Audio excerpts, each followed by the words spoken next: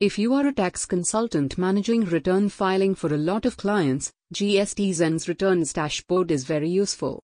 The homepage provides links to all your clients' recent tax returns.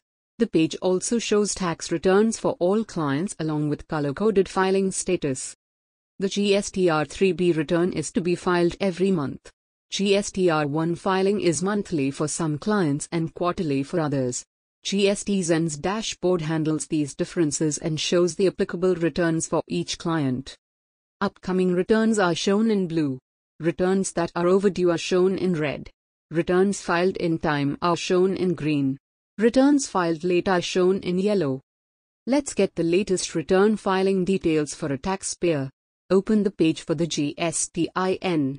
In this page, you will see a table showing all tax returns for this GSTIN. Click on the Update Now button.